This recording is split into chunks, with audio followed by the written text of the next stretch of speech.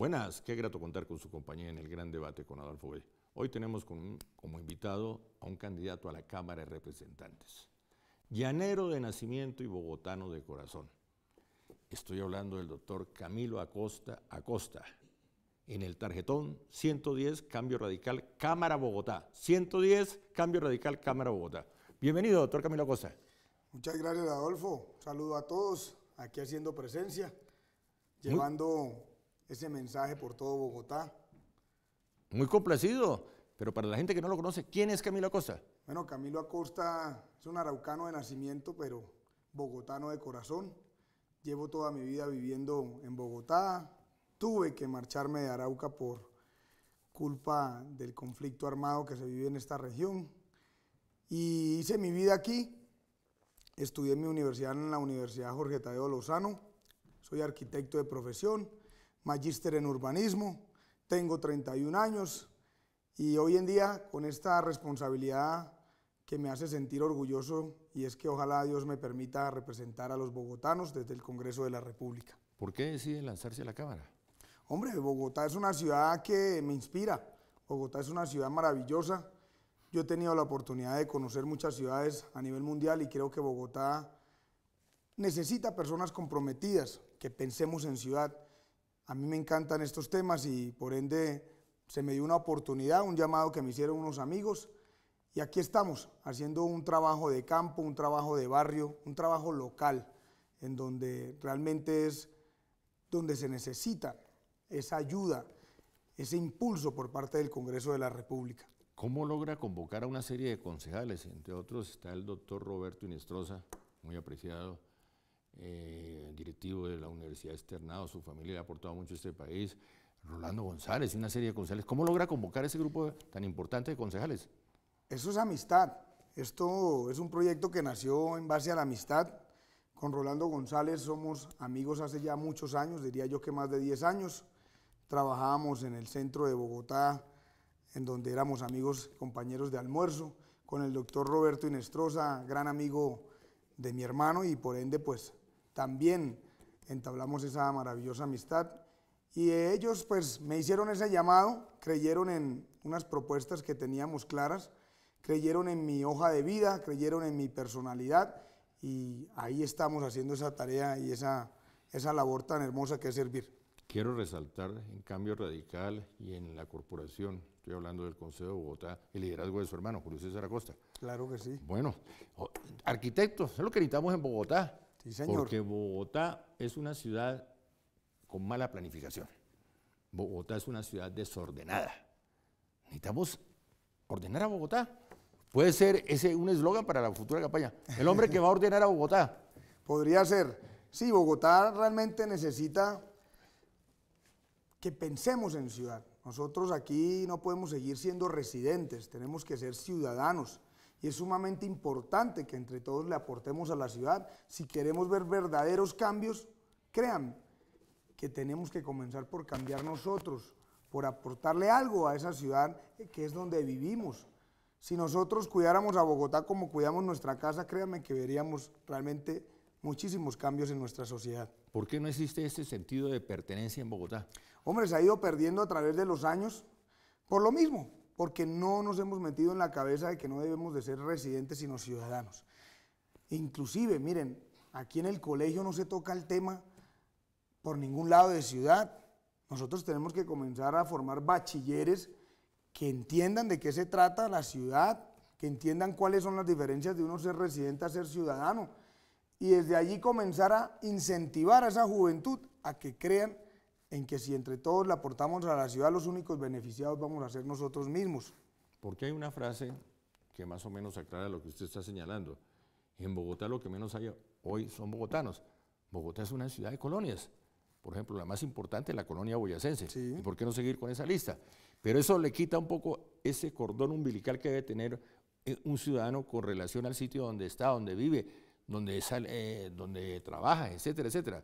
Claro que sí, yo por eso hago mucho énfasis en invitar a la juventud y a los adultos a que comencemos a pensar en ciudad. Hombre, Bogotá es una ciudad muy grande, pero también es una ciudad maravillosa por ser tan grande y por tener esa diversidad cultural. Muy pocas ciudades tienen esa diversidad cultural qué bueno sería que la aprovecháramos no solamente como, como un lugar en donde vivimos, sino también como ciudad, que formemos personas que crean en la ciudad. Bogotá es maravillosa, sinceramente Bogotá es una ciudad que tiene de todo. Y, y, pocas ciudades tienen esos privilegios, entonces lo que necesitamos es comenzar a tocar esas fibras que se han olvidado a través de los años, que se han perdido por andar pendientes de seguramente de otras cosas y no de realmente entender que la ciudad es nuestra casa. Sí, la pregunta que surge, usted que ha recibido todo de Bogotá, yo he recibido toda esta ciudad. Absolutamente. ¿Cuánto le ha dado usted a la ciudad? ¿Qué le ha dado usted a la ciudad? Esa es una pregunta que no debe hacerse, no solo para los residentes de Bogotá, sino en general para todo el país que recibe los beneficios constantemente de Bogotá. Así es. ¿Cuánto? Todo lo que le debemos, entre comillas, a Bogotá. Bueno, ¿cuál es el principal problema de Bogotá? Mire, Bogotá tiene cuatro problemas fundamentales. Uno es, por supuesto, la inseguridad. La movilidad, por otro lado. También tenemos el problema de la salud. Tenemos una salud bastante desorganizada. Y algo que es preocupante, que es la falta de oportunidades, el desempleo. Hoy en día vemos cómo nosotros poco a poco vamos cerrando las puertas en vez de abrirlas a la sociedad. Por una parte, la juventud se encuentra desorientada por otra parte, el adulto mayor se encuentra abandonado, la población en condición de discapacidad se encuentra abandonada, las madres cabeza de hogar abandonadas. Necesitamos entender que debemos de cubrir todos esos espacios de esas poblaciones que hacen parte de esta ciudad, para que nosotros veamos cómo podemos resultar eh, ganadores en cuanto a estos problemas. Yo creo que es fundamental atacar estos problemas, pero miren, todo también parte de esa base de entender, de recuperar ese sentido de pertenencia. Porque todo tiene que ver con sentido de pertenencia. El sentido de pertenencia está en todos los ámbitos. Obviamente para la seguridad no solamente se trata de aumentar el pie de fuerza, se trata también de alguna forma implementar leyes que de verdad nos sirvan a nuestras necesidades. Nosotros no podemos seguir aquí eh, teniendo unas leyes débiles en cuanto a que se coge un delincuente y a las pocas horas se deja en libertad. Por una parte, la policía está desmotivada. ¿Cómo no van a estar desmotivados, desmotivados los policías si cogen a un delincuente y al otro día lo ven caminar como Pedro por su casa enfrente de sus ojos? No hay duda. Entonces, hay que atacarlos de dos formas. Uno, con la prevención, preveniendo que todo esto pueda suceder, y otro con la ley. Tenemos que comenzar a castigar con severidad, no solamente a los delincuentes, también a los corruptos. Por otra parte, la salud, pues tenemos un desorden en la salud, la salud necesita organizarse. Sería muy complicado cambiar todo el sistema, pero es que este sistema no es que no funcione, es que tenemos un desorden total en la salud y por supuesto la corrupción nos está haciendo llevar la salud a muchas partes que no, no debemos. Ese es el gran tema. Pero la pregunta que surge, usted que aspira a la Cámara de Representantes, ¿por qué en el Congreso no se defiende a Bogotá? Ahí tenemos una serie de representantes por Bogotá, pero la mayoría de políticos, senadores, vienen a recoger, a recoger votos en Bogotá. ¿Y quién de, en Bogotá no tiene quien la defienda en el Congreso? Sí, la verdad es que Bogotá tiene muy pocos parlamentarios, contamos con cinco senadores apenas, hombre cuando representamos yo creo que casi el 25% de la población de Colombia. Deberíamos de tener mínimo 20 senadores. Ahora los representantes a la Cámara eh, no los conocen, hombre. Me aterra, qué lástima, qué me aterra ir a los barrios, preguntar en todos los barrios. Yo llevo un año y cuatro meses haciendo este ejercicio comprometido y lleno, lleno de energías para recorrer todos los barrios de Bogotá. Y me aterra en realidad saber que en donde uno va y pregunta por los representantes, muy pocas personas los conocen. Y los pocos que los conocen, los conocen es porque los ven en televisión. Hombre, yo de verdad la invitación que le quiero hacer a todos mis futuros compañeros es que salgamos a la calle, que de verdad tengamos presencia en el tema local en Bogotá. Los ciudadanos quieren ver a sus representantes caminando los barrios, escuchando las comunidades, las necesidades reales de los sectores. Así que la invitación es a dejar un poco eh, eh, ese escritorio y ponernos a trabajar de verdad de frente con las personas que tenemos aquí, que es lo que nos realmente nos interesa. Esa es la invitación que les hago yo a todos. Hay que untarse más de pueblo. No solo ese recorrido antes de las elecciones por un voto, sino hay que estar en, diálogo constante con la gente, con los bogotanos. Ahí es cuando uno conoce los problemas. Claro que sí. No es a través del secretario de turno, no es a través del amigo que robaron en tal parte, que tal esquina es insegura, que tal puente se está dañando, que falta un puente peatonal acá. No, tiene que estar no solo antes de elecciones, ese es un llamado para todos los que están en el ejercicio político, concejales, representantes, senadores. Bogotá necesita su ayuda. Bogotá está abandonada en el Congreso. Bogotá no tiene quien la defienda en el Congreso. Hombre, eso lo dicen los ciudadanos. Y eso es lo preocupante, encontrarse uno aquí en todas las localidades con la misma respuesta. Es que no los conocemos, es que nunca vienen, es que solamente hacen campaña y no vuelven.